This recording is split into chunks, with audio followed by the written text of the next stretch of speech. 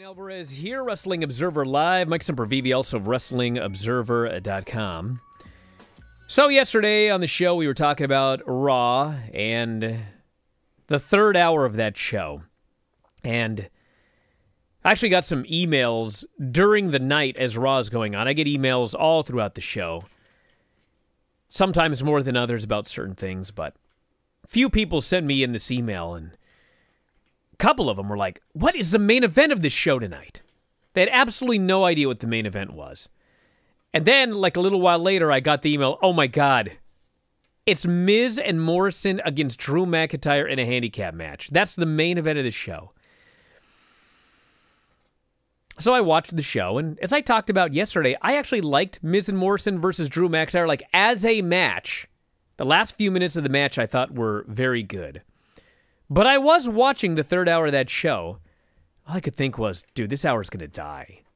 This hour is going to die. And I've thought about that before, and the third hour's done bad, but this, a new standard, going against a strong NFL number with no notable thing that would increase the ratings. And it's not only that, nothing announced during the show that would increase the ratings.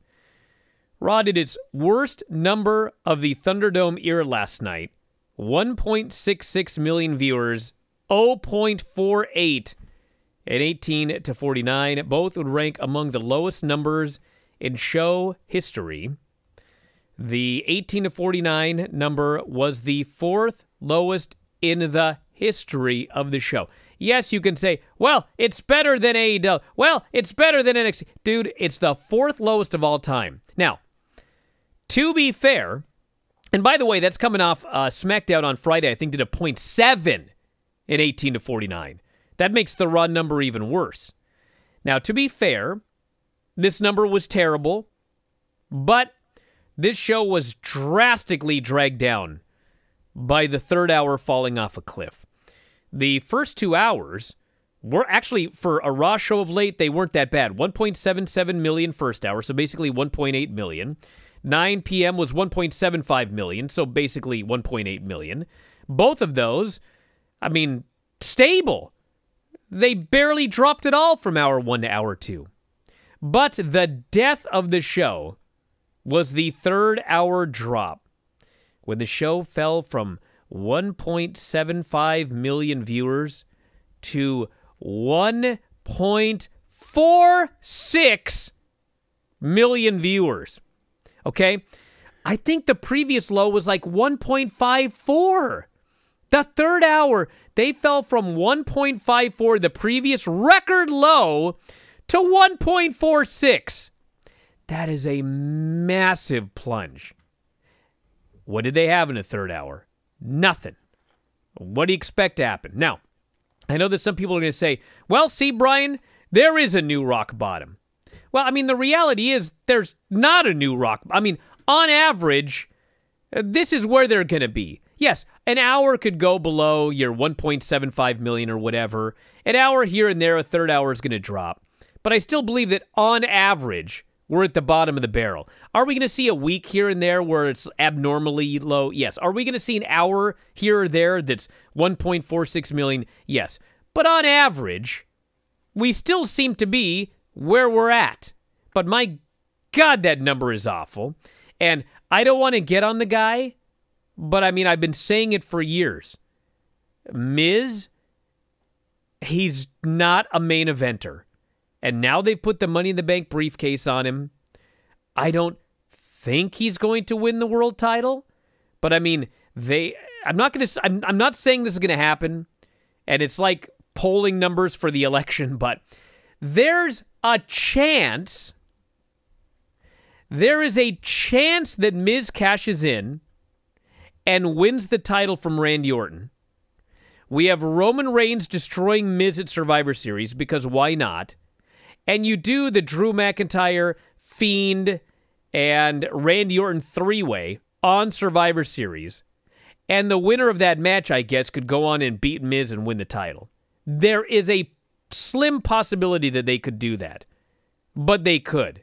But my point is, Miz anywhere near main events right now is not a strong idea. in my opinion. But we'll see. Any thoughts, Mike? Um, the biggest one is who's the main eventer? It, because Drew, after Randy, the, the, Fiend. Okay, you got there. You go, and there's your list. Okay, and, well they put Miz there, but it doesn't, Bryan. It doesn't matter because after the first two hours of that show, I said that on Tuesday. I couldn't.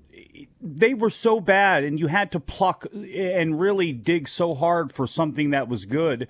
And it apparently wasn't just me, except I kept the show on and instead of turning it to and I have no idea if the Buccaneers and Giants game picked up because that was going down to the the wire or where exactly these people went but 300,000 people turned the show off or just turned on something else. I they don't have anything. They haven't built to anything. You reap what you sow and these are the this is what they're getting it doesn't matter that it was the Miz, and you're right. The Miz is not may not be a main eventer. Morrison may not be a main, certainly is not a main eventer with the way he's positioned. But everybody's been positioned in the same way, and I'm not going to hang this on the Miz. It could have been anybody there, and I'm not so sold on you know if it was Randy Orton or the Fiend out there at the very end that it still would not have lost significant numbers. Maybe not three hundred thousand but I mean, I, I, don't even know what else to say. Well, that's I my just, point. They wouldn't have lost three hundred thousand if they. So they would have lost maybe two hundred and fifty because in the main the event. Thing. What you also can't say is they would have lost such an insignificant amount that they would have been closer to the one point seven seven. I, I I don't believe that.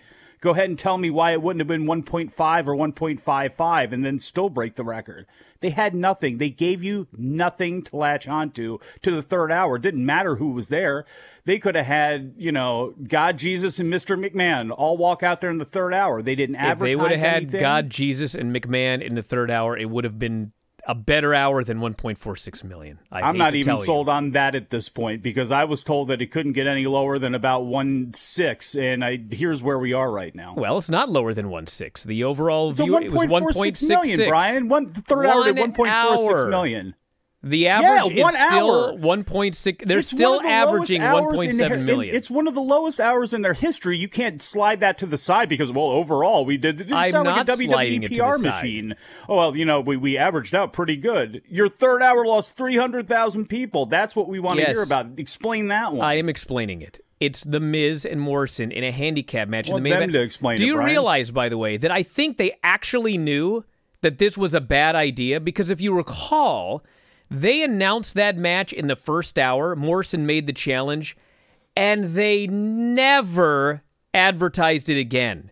That's why I got emails from people saying, What's the main event of the show? They hid it because they knew closing the show with Miz and Morrison versus Drew McIntyre was a bad idea. But yes, they didn't have anything else. Yes, there are a lot of problems. Yes, this number is a disaster. Yes, this is an all time low. But but the first two hours, we still are at 1.7, 1.8 million viewers for the average for the show.